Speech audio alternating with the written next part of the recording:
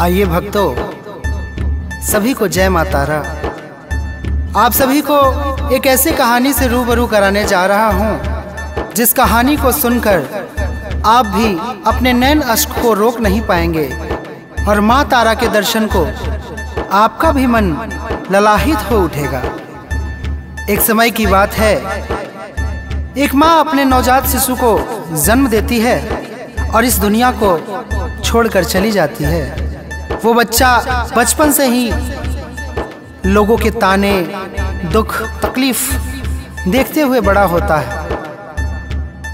किसी के साथ पीछे पीछे पावन धाम माँ तारा के चरणों में पहुँच जाता है। जाने के बाद देखकर माँ को रोने लगता है, बिलखने लगता है कि हे माँ मैंने ऐसी क्या गलती कर दी कि मेरे सर से माँ का आंचल छीन लिया? अरे माँ तो माँ होती है ना। माँ तारा के आँखों से आँसू बह जाते हैं। कुछ समय बाद बच्चा किशोर अवस्था में पहुँचता है। अचानक उसे एक बुढ़िया माई रास्ते पर भटकती हुई मिल जाती है। वो बुढ़िया माई पूछती है, बेटा तेरा नाम क्या है? बेटा, शब्द सुनते ही उसके नए नस्क बह उठे। वो खुद को रोक नहीं पाया। उसने उस बुढ़िया माई को गले से लगा लिया और बोला कि मैं क्या आपको माँ बुला सकता हूँ? बुढ़िया माई बोली, अरे, मैं तेरी माँ ही हूँ। तू रोता क्यों है? इस दुनिया में मेरे सभी बच्चे हैं। इस संसार में हर एक व्यक्ति मेरी संतान है। वो बच्चा रोते रोते उससे पूछता है कि, माँ, मुझे कोई कलुआ, कोई अनाथ, कोई बिन माँ का ना जाने किस किस शब्दों से बुलाता है। मुझे कोई नाम दे दे, माँ। माँ, तारा तो जगत जननी है ना। वो नाम देती है, तुम, मेरे कृष्णा और मैं तुम्हारी मैया यशोदा। दोनों एक दूसरे के साथ रहने लगते हैं। वो बुढ़िया माई भिक्षा मांगकर उस बेटे को पढ़ाती है, लिखाती है, बड़ा बनाती है। बेटा बड़ा कलेक्टर ऑफिसर हो जाता है। शादी करने की बारी आती है। वैवाहिक जीवन जीने की बारी आती है। माँ से आकर वो बेटा एक दिन कहता है कि, माँ देख, मेरे साथ कौन आया है? मैं इसे बहुत प्रेम करता हूँ। जैसे तूने मुझे कृष्णा नाम दिया, वैसे ही मैंने तेरे लिए एक बहू के रूप में राधा लेकर आया। माँ प्रसन्न हो जाती है, धूमधाम से शादी विवाह हो जाता है। कुछ समय बाद उस बुढ़िया की, उस माँ की शारीरिक स्थिति बिगड़ने लगती है, तबीयत खराब होने लगती है। सेवा की बारी आती है, बेटा कलेक्टर ऑफिसर बन जाता है। उसके पास समय का अभाव होता है, वो अपनी माँ का ध्यान नहीं रख पाता। बहू, आज के दौर की बहू, जो फ़ैशन, अपनी ज़िंदगी, अपने ऐसो आराम को जी रही होती है, उसे, उस बुढ़िया माई की सेवा करने में काफ़ी तकलीफ़ हो रही होती है। ना समय पर भोजन मिलता था, ना पानी, ना दवा। कुछ समय बाद उस नस्वर शरीर को छोड़कर माँ अंतर ध्यान हो जाती है। बेटा घर पहुँचता है और बिलक बिलक के रोता है कि, माँ, अरे मैं तो अनाथ था। मेरा तो कोई दुनिया में नहीं था, माँ। एक तो ही तो थी। जिसने मुझे बेटे का नाम दिया, माँ की ममता और मैया का प्यार दिया। आखिर मुझसे क्या गलती हो गई कि मुझे छोड़ के तू चली गई? वक्त रुकता कहाँ है? समय निरंतर चलता रहता है। कुछ समय बाद कृष्णा की पत्नी गर्भवती होती है और उसे पुत्र रत्न की प्राप्ति होती है। और कहते हैं ना सत्कर्म हमेशा साथ देता है और दुष्कर्म हमेशा सताता है। उस बच्चे की तबीयत नासाज रहने लगती है। वो नवजात शिशु, जन्मजात विकलांग होता है। कष्ट, दुख, तकलीफ़, बीमारियों से घिर जाता है। पिता कलेक्टर होने के बावजूद कुछ नहीं कर पाता है। रोते रोते माँ तारा के दरबार जाता है। पत्नी गोद में बच्चे को उठाए। माँ तारा के दरबार पहुँचती है। जब माँ तारा से कृष्णा की नज़रें मिलती है, जब माँ का दीदार होता है, उस मूर्ति से आंसुओं की धार बह उठती है और आवाज़ आती है कि, बेटा, तेरी बहुत याद आती है रे। कृष्णा इस आवाज़ को पहचान जाता है कि ये कोई और नहीं। मेरी माँ है, मेरी बुढ़िया माँ, जिसने मुझे पाला, पोसा, बड़ा बनाया, नाम, शहर और दौलत, सब कुछ कमाने के काबिल बनाया। वो सब कुछ भूल कर माँ के चरणों को पकड़कर बिलक बिलक के रोने लगता है कि माँ,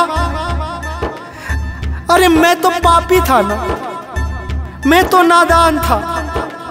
पूत कपूत हो सकता है। माता कभी कुमाता नहीं होती। मैंने ऐसी क्या गलती कर दी माँ, कि मुझे छोड़कर तू चली गई। ये सभी दृश्य को उसकी पत्नी देख रही होती है। उसकी पत्नी को याद आता है कि जो हमारे घर में एक बुढ़िया के रूप में, एक माँ के रूप में रह रही थी, वो कोई और नहीं। साक्षात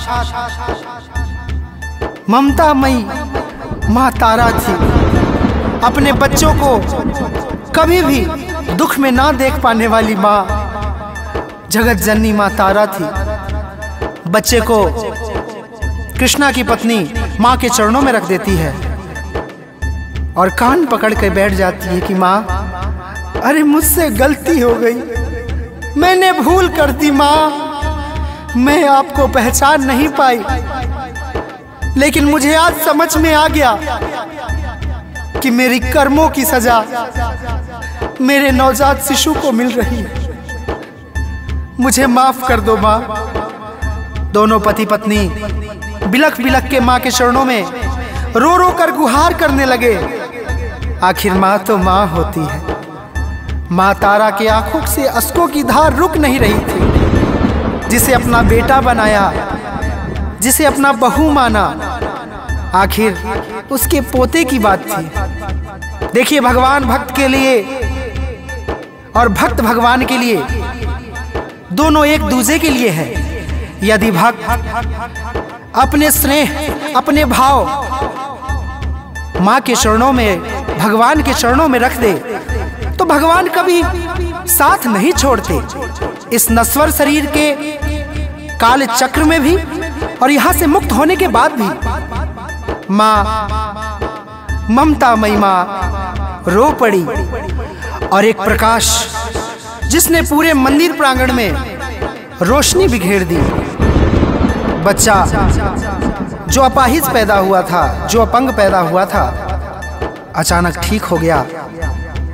और कृष्णा अपनी कलेक्टर की नौकरी छोड़कर माँ तारा के प्रांगण में नित्य दिन सेवा करने जाने लगा। धीरे धीरे ये सिलसिला चलता रहा। बेटा भी बड़ा हो गया। पति पत्नी और बेटा दोनों अपने जीवन को महातारा के चरणों में समर्पित कर दिया। आइए भक्तों, ये कहानी हमें ये सीख देती है। कि कभी भी भगवान के चरणों को नहीं छोड़ना चाहिए। अपनी माता पिता के चरणों को नहीं छोड़ना चाहिए। क्योंकि जब दुख में हो बेटा तो मैया रोती है। अरे जिसका कोई नहीं होता, माँ तारा होती है। प्रेम से बोलिए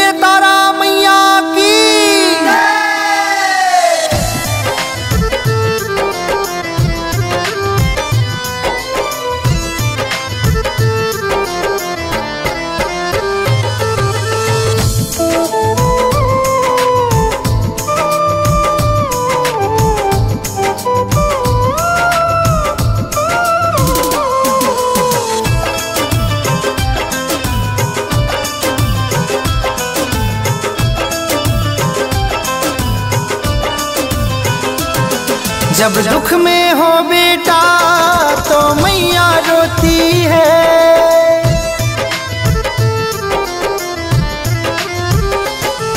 जब दुख में हो बेटा तो मैया रोती है।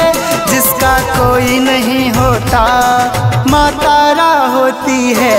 जिसका कोई नहीं होता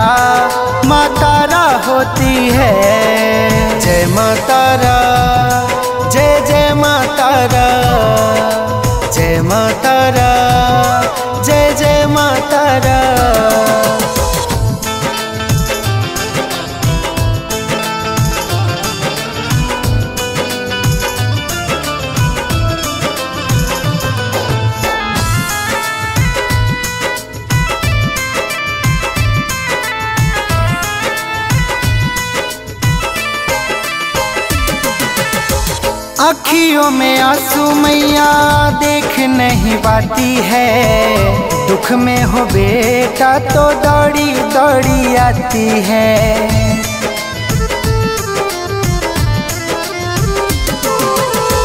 अखियों में आँसू मैया, देख नहीं पाती है। दुख में हो बेटा तो दौड़ी दौड़ी आती है। माँ जगती है हर क्षण औलाद, चैन से सोती है। माँ जगती है हर क्षण औलाद, चैन से सोती है। जिसका कोई नहीं होता माँ तारा होती है। जिसका कोई नहीं होता माँ तारा होती है। जय माँ तारा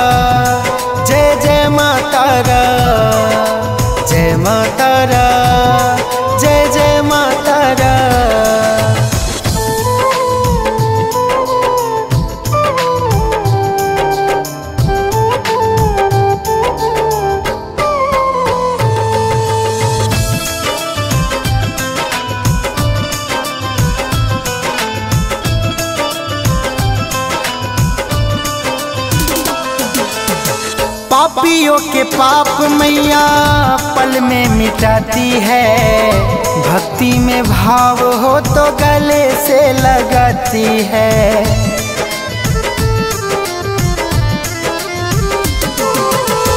पापियों के पाप मैया पल में मिटाती है।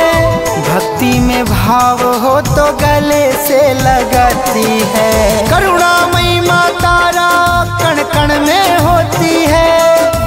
करुणामयी माँ तारा कण कण में होती है। जिसका कोई नहीं होता माँ तारा होती है। जिसका कोई नहीं होता माँ तारा होती है। जय माँ तारा